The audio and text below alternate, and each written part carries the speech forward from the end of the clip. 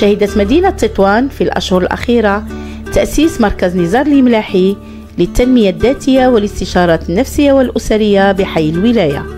السلام عليكم دكتورة رياحي إيمان طبيبة عامة بمدينة مارتيل.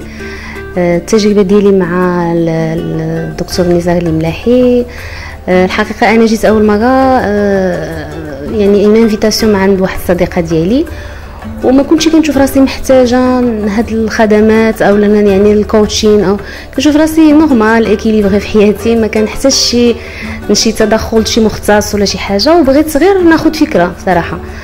ولكن نهار اللي جيت وحضرت أول محاضرة ديال الدكتور نزار صراحة بزاف الحاجات توضحت لي وبزاف الحاجات تبدلت لي المفهوم المفهوم ديالها في في الحياة ديالي لا في الطريقة كيف كنتصرف مع ولادي ولا مع المرضى ديالي ولا مع نفسي. آه، هادو أشياء اللي أثروا فيا وخلوني نثق في نفسي أكثر وخلوني نحب نفسي أكثر وكنظن أن هذا آه، الشيء ننصح به أي واحد لأنه يلتجأ ديال الخدمات. الحمد لله اللي كاينين متوفرين دابا في مدينة تطوان هذه المؤسسة هدفها نشر قيم المحبة والبهجة والسلام بين الناس. ومساعدتهم على تعلم فنون الحياة لتحقيق ذواتهم مرتكزين على أحدى التدريبات والمهارات العلمية في مجال علم النفس وعلوم الطاقة والتنمية الذاتية. السلام عليكم. معكم دكتورة عزة الدردابي. آه، آه، أنا جيت مسرورة في المركز دكتور نزال الملاحي آه، بغيت نشاطر معكم التجربة ديالي الشخصية. اللي كانت في 2016 و 2017 آه، في المركز اللي كان عند دكتور نزار في غرناطة في إسبانيا. ومن بعد الجلسات آه، اللي كانت مدة ثلاث شهور حسيت واحد التحسن ناجح جدا في الحياة ديالي. وتحول ديك الألم والحزن اللي كان عندي بعد الفراق الوالدين ديالي إلى الحمد لله واحد الطمأنينة واحد السلام الداخلي ورجعت الرشاقة ديالي والحياة والنشاط.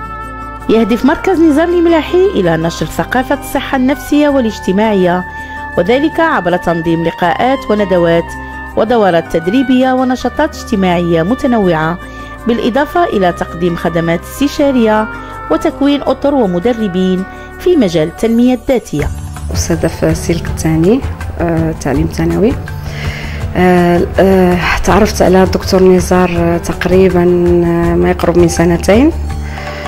وملي ملي تعرفت عليه كان عندي واحد ال واحد ال الحاجة كبيرة أنني نبدل واحد التغيير جذري في حياتي.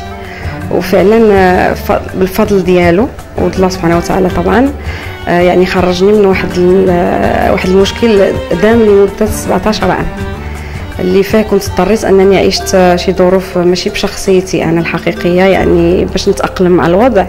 وهو فكرني وساعدني أنني نخرج من ديك العزلة اللي كنت فيها ونرجع أنا ديال الحقيقية.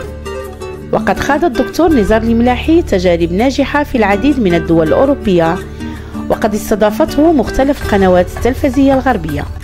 وهذا هو هذا هو الشيء اللي جعله أنه ناجح ومحبوب عند القلوب الجميع وأنا كنشكره وكنتمنى له التوفيق والمزيد من العطاء إن شاء الله باش يفيد آه، واحد الشريحة كبيرة من المجتمع اللي ما عارفينش كيفاش يعيشوا حياتهم وما عارفينش كيفاش يخرجوا آه، آه، الروح والصفاء الروح ديالهم باش باش يستافدوا منه ويعيشوا حياة سعيدة وفي تصالح دائم مع النفس. فمرحبا بكم جميعا في مركز دكتور نزار الملاحي.